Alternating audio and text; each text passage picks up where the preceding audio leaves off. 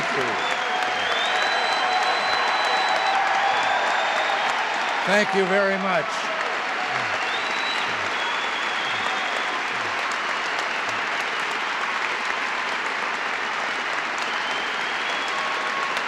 Thank you. Thank you.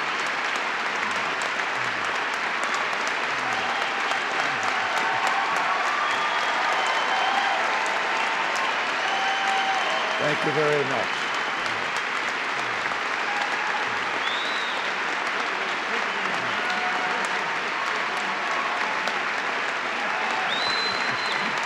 Please, thank you.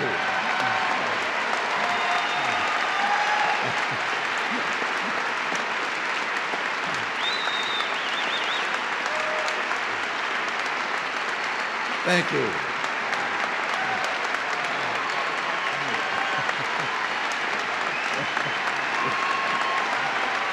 Somebody better sit down.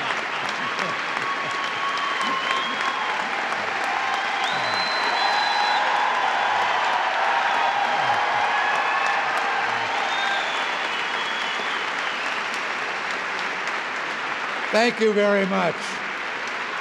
Thank you.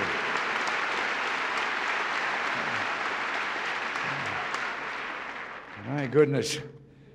If they'd have done this for bedtime for Bonzo, I never would have left Hollywood. well, thank you all very much, and a special thanks to the members of the Army Band and the Herald Trumpeters. They-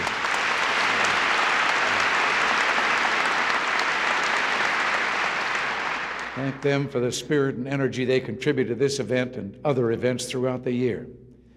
Well, it is 1988. And before saying anything else, I'd like all of you who've been part of the administration since 1981 to stand.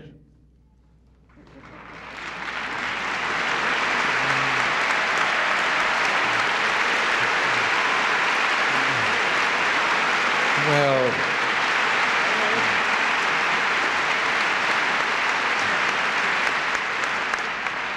Well, I think we owe these battle veterans a special round of applause, and you already did that. Thank you.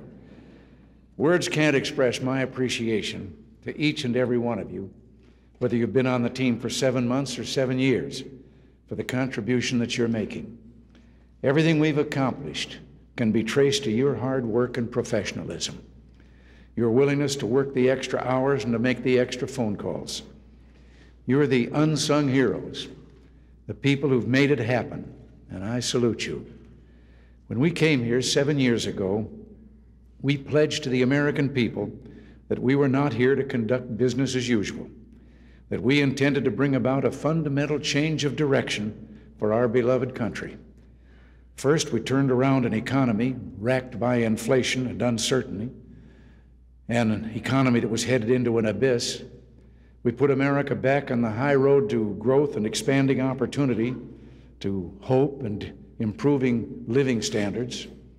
And now, over the years, there's been a lot said about so called Reagan luck. Well, being of Irish extraction, sometimes I'm inclined to believe such things. However, I can assure all of you that the great economic expansion our country has enjoyed has had more to do with low tax rates, deregulation, and responsible federal policies than with leprechauns.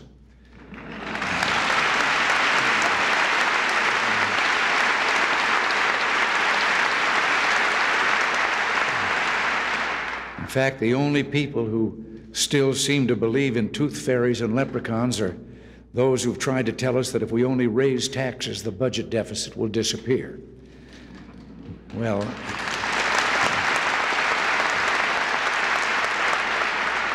well, luck, as it is said, is where preparation meets opportunity.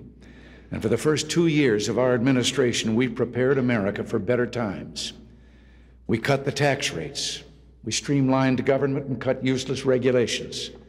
Through our block grant program, we returned power and authority for a number of programs back to the states. But most significant, we turned to the people themselves. We left resources in their hands that others would have taken away. We took the yoke of overregulation off their shoulders.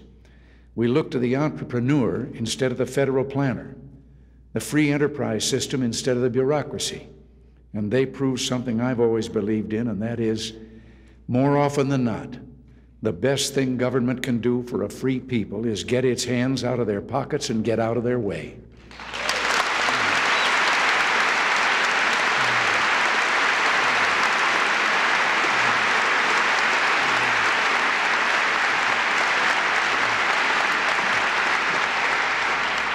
I think we can be proud that our policies, based on an abiding faith in the people, have worked. America is still enjoying the fruits of the longest peacetime expansion in history. The real gross national product, which is the value of all the goods and services produced in the United States, has risen more than 21% during this expansion. Inflation running at double digit killer rates in 1979 and 80 has averaged some 3.3% since the recovery began. The prime interest rate, which was 21% just before we got to Washington, is down to last month 8.75. What does all this mean to the American people? It means that more of them are working and a higher percentage of the population is employed than ever before. It means the median after inflation income of the American family which was dropping when we got to Washington, increased 4.2% in 1986. Homes again are again affordable to the average citizen. In March of last year, America built its 100 million home. You know, I wonder sometimes where certain candidates for an office of the other party, uh, why they haven't found out all these figures. Don't let anyone tell you that this expansion has excluded the poor and the minorities, as some of them are saying. The poverty rate, which was rising precipitously when we got here, is now declining. The tragic, that tragic trend we inherited has been reversed. Among minorities, the news is also good. Teenage black unemployment, for example, though still far too high, has been cut dramatically in recent years and the percentage of blacks in the group of Americans who make over $50,000 has almost doubled since 1982. Something that seems to be popular of late is suggesting that greed has characterized the 1980s in America. Well, I don't happen to believe that pejorative word is appropriate. We should applaud people who are trying to better their lot, not put them down. One cover story, which seemed to be saying the 1980s had been a period of selfishness, instead of self improvement, contained a poll which reported that between 1982 and 1987, there had been a 66% increase in the number of people who answer yes to this question Are you involved in any charity or social service activities such as helping the poor, the sick, or the elderly? And furthermore, we know that between 1980 and 1986, charitable giving shot up 77%. So much for the so called era of greed. This has been a time of people getting involved and helping one another without waiting for government. It's been a time of increasing hope, of rising standards of living, of economic expansion. And don't let anyone tell you it's all over. We were told it couldn't be done even before we started. The doomsayers then claimed it could never last. Yet it has been one of the longest, as I said, peacetime expansions in history. On the network news, we saw story after story that would lead one to conclude that poverty was increasing And when the statistics finally came out, we found there'd been a significant decline in the poverty rate. We heard the professional pessimists telling us America was being deindustrialized. And then we found out that our industry was making record gains in productivity and that our manufacturing industries were making a big comeback. And now we even hear highly touted analysts telling economic movers and shakers that a report heralding the good news that unemployment is going down is actually bad news. I don't think the American people believe in this kind of Alice in Wonderland economics. I don't think the American people believe good news is really bad news. We can be proud of what's been accomplished. The doomsayers who can't make the front page or network news unless they've got something bad to say have been wrong for the last seven years. And in 1988, we and the American people are going to prove them wrong again.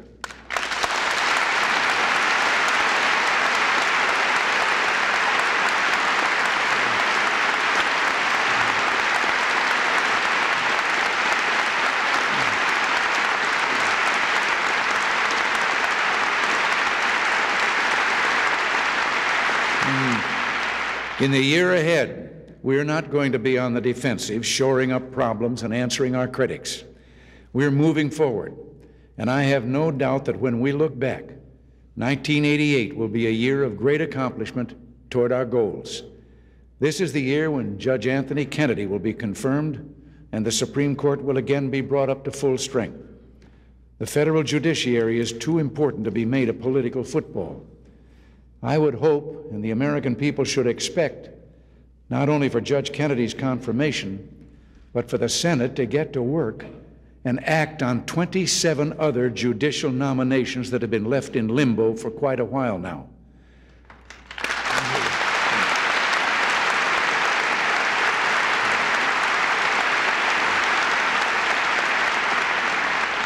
This is also the year that the United States will strongly affirm that democracy, not communism, is the future of Central America.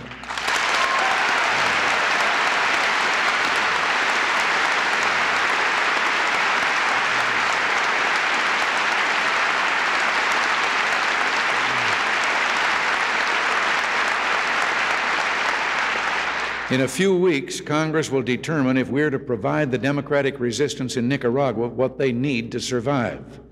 The Guatemala peace plan can succeed only if the Sandinistas have reason to compromise and institute democratic reforms.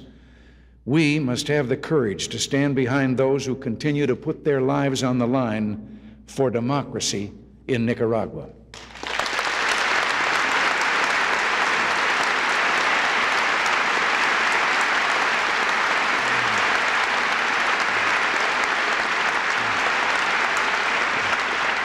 We've learned on another front that standing firm, that strength, not weakness, is the best way to achieve results with our adversaries. Nearly, nearly seven years ago, I proposed the zero option, suggesting the elimination of an entire class of U.S. and Soviet intermediate range nuclear armed missiles. Many of our opponents called for the so called nuclear freeze, which would have left Soviet intermediate range missiles threatening both Europe and Asia. Against great outcries, we and our allies installed our cruise and Pershing II missiles. It was this determination which finally convinced the Kremlin to bargain realistically. I believe we can all be proud that at last month's summit, we signed the first agreement between the Soviet Union and the United States that actually reduced our respective nuclear arsenals.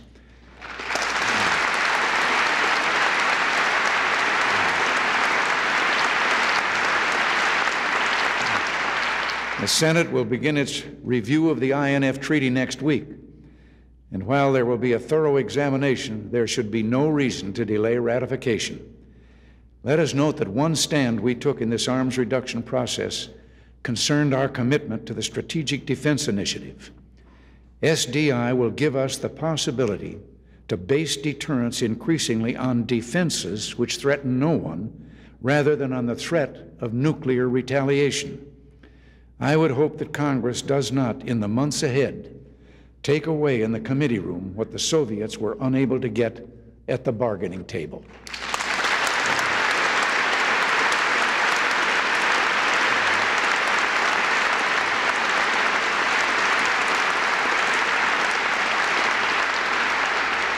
We must push forward in the SDI research and testing.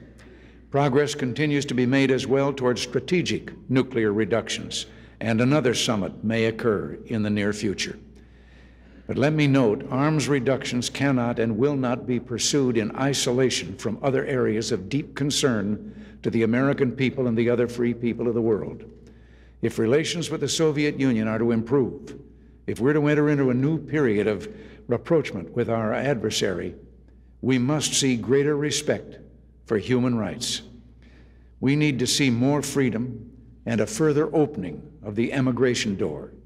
We also need to see a peaceful resolution to regional conflicts which Soviet weapons, personnel, and policies now help to prolong.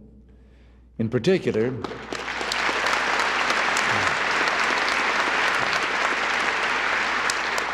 In particular, the Soviet government needs to realize that relations with the United States cannot be expected to flourish while Soviet troops remain in Afghanistan.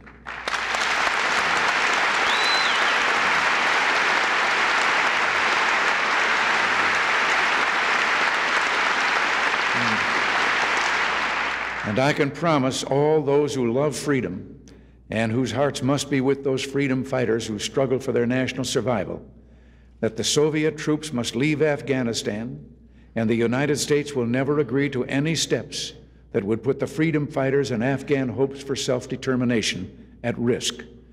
I am optimistic about the chances for better relations between East and West. Clearly, the people of the world are bound and rounding rapidly into a new era of technology and enterprise.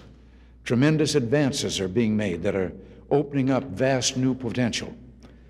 Communist societies, in contrast, stagnate under the heavy hand of repression and the failure of socialism. They must change relations with the West must improve, or communist governments will simply be left behind. It's that simple. And here in this continent, we're about to undertake one of the most truly visionary steps of the 20th century. Early this month, Prime Minister Mulroney and I signed, and I fully expect the Congress to approve, an agreement that will eliminate the tariffs and tear down the barriers that have frustrated and taxed trade and commerce between the United States and Canada. What we're putting in place is the largest free trade area in the world. This historic step will be a source of growth and prosperity on both sides of the border for years to come and be a lasting legacy of which we all can be immensely proud. The only thing that can keep America back is an unwillingness to do what needs to be done, to do what is within our ability to do. Congress, for example, needs to act to make good on the second year of its agreement to bring down federal deficit spending.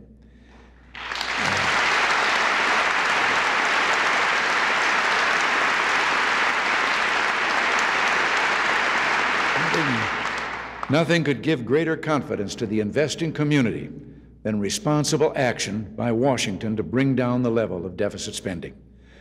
And finally, I'd like to discuss with you personally something that's been of utmost concern to Nancy and me during our stay at the White House.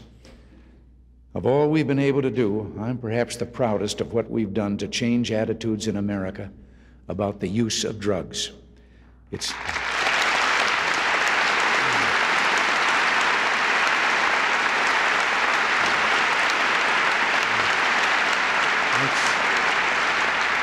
It's no longer fashionable to use drugs, and by the end of this administration, I'd also like to be able to say that it's no longer tolerated. We've spent.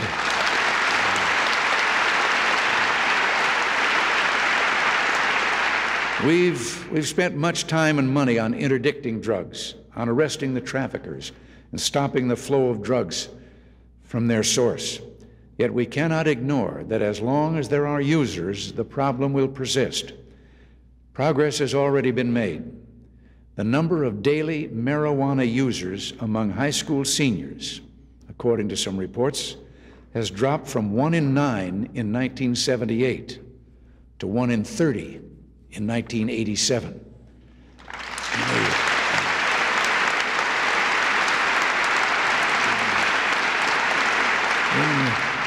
In, the time left in our administration, I would hope that you'll do everything possible to eliminate drug abuse from the federal workplace. The federal government is the nation's largest employer, and it should be an example to the rest of the nation. We've got to make it an example. Can I count on you?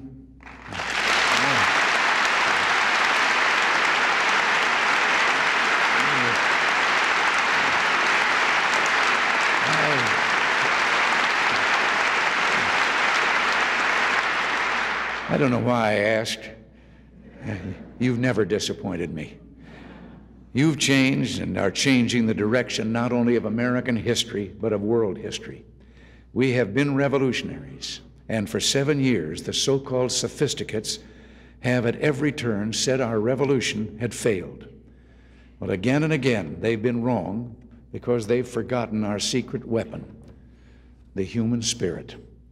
Yes, ours is a revolution for the most powerful yearnings of the Spirit yearning for opportunity, for a better life for your children, for freedom, for true and lasting peace.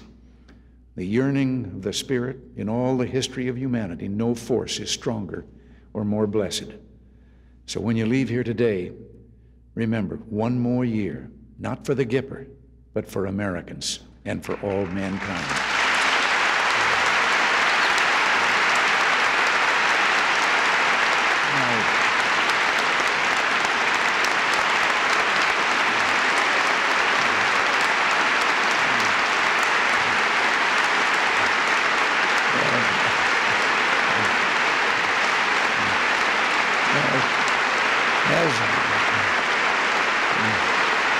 Because I had something else to follow my speech, and that is I'd like to introduce to you some of my small friends from the Young Americans for America who have a big message for you.